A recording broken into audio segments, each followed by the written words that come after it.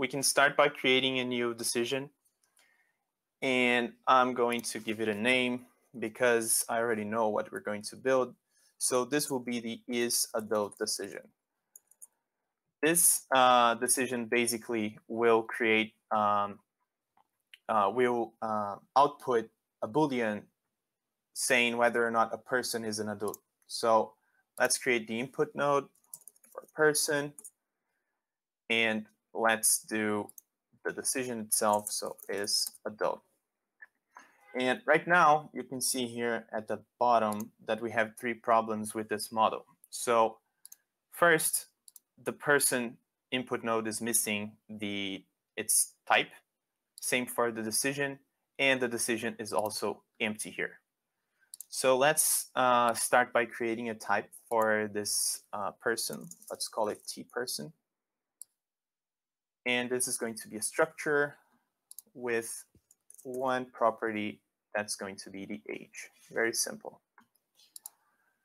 Good. So if we go back to the editor, we can now assign this type here, like you would normally do. The problem here is gone.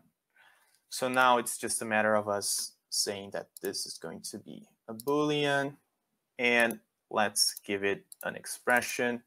So person dot age greater than or equal to 18. This is good enough for this decision. And as always, we can test using the DMN runner. By the way, uh, we have specific KIE lives for DMN runner. So if you're not uh, familiar with it, please go ahead and watch it. It's very interesting. And you can see that I am connected to the KIE tooling extended services, which is basically the tool that powers the DMN runner. So let's quickly test it. Um, person age 12, not an adult, 20, adult. Okay, good enough for me. Now, uh, one of the most interesting things that we are uh, introducing in this new version is the capability of adding a set of files together. So those who are familiar with DMN know that you can add included models to a specific DMN decision and uh, import parts of the, the included model. So on this example today, I'm going to be importing data types. So we can start um, doing that. Let me close the runner and the problems tab.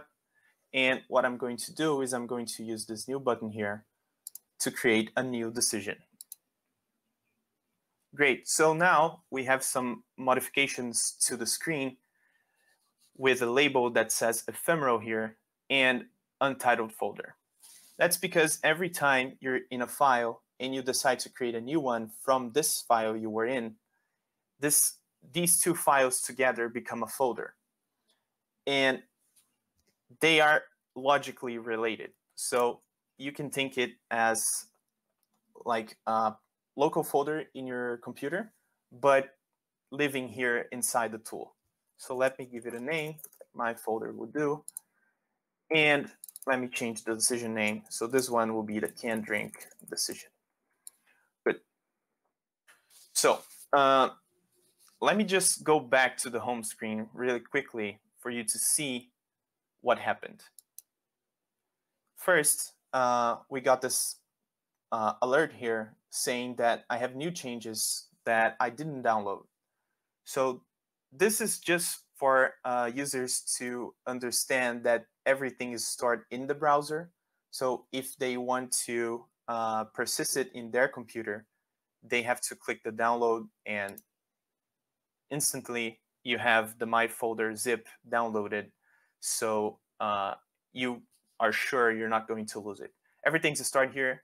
If you close the browser and you bring it back up, it will be here. But for example, if you open an incognito window or another browser, uh, your files won't be there. So this is just an extra caution that we added uh, for people to understand it.